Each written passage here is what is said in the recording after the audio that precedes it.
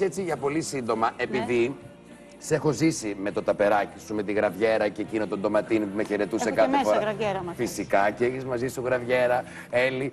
Πες μου λίγο, είσαι σε πόσα χρόνια είσαι σε αυτό το. Είναι τόσο το πρόγραμμά σου όπως ήταν στην αρχή, πολύ προσεκτικό; Τόσο. Ο, πιο.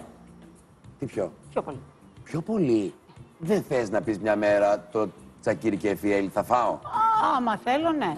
Θέλεις αυτό συζητά. Έλα ρε Έλλη, γιατί; Δεν θα φας τώρα Έρχονται τις γιορτές. Χριστούγεννα, εντάξει, θα, φάω. φας. Θα φάω. Τι λίγο. εννοούμε θα φας, γιατί εγώ στη δικιά μου τροφολόγο είπα ξέχνα, θα φάω και τα σκυλιά τα Χριστούγεννα.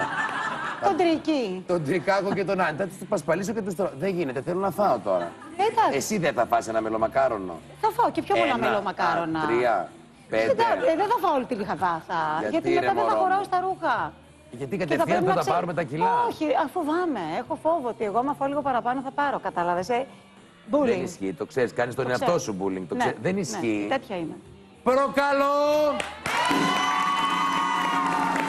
την Έλλη Κοκκίνου να φάει 15 μελομακάρονα και να μας το στείλει σε story.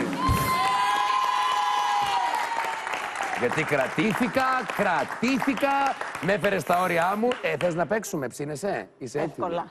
Βάνια!